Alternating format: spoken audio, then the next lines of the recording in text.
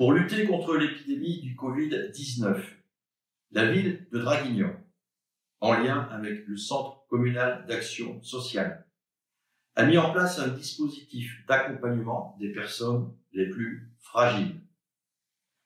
À ce titre, le CCAS assure un plan de continuité d'activité afin que l'ensemble des services essentiels à la population puissent fonctionner pour le bien des personnes isolées, âgées et précaires.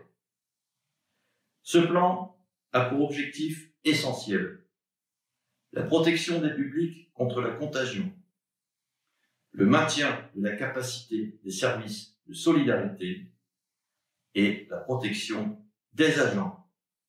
Tout d'abord, notre EHPAD, la pierre de la fée, a mis en place son plan bleu. Conformément aux directives gouvernementales et de l'Agence régionale de santé, les visites sont dorénavant supprimées. Les familles ont été sensibilisées très tôt à cette mesure pénible et l'ont acceptée par nécessité. La résidence autonomie l'eau de l'horloge a également fermé ses portes, sauf aux personnels médicaux et paramédicaux. Le portage de repas à domicile pour les seniors les plus vulnérables continue de remplir une mission essentielle de lutte contre l'isolement. Les associations partenaires ont adapté leurs moyens, leur fonctionnement, par exemple en renforçant la maraude. À l'heure actuelle, donc, la solidarité s'organise, y compris au travers des offres que nous font les particuliers.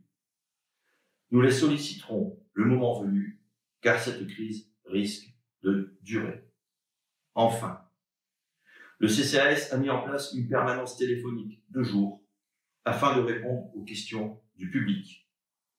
Vous pouvez nous joindre au 04 94 50 42 20 pour vous guider et vous accompagner dans vos démarches. Vous l'avez compris, nos équipes sont sur le front. Personne n'est oublié. Je voudrais ici les remercier toutes, sans exception, au nom de la municipalité, pour le sérieux, le professionnalisme et la solidarité dont elles font preuve. Je vous remercie.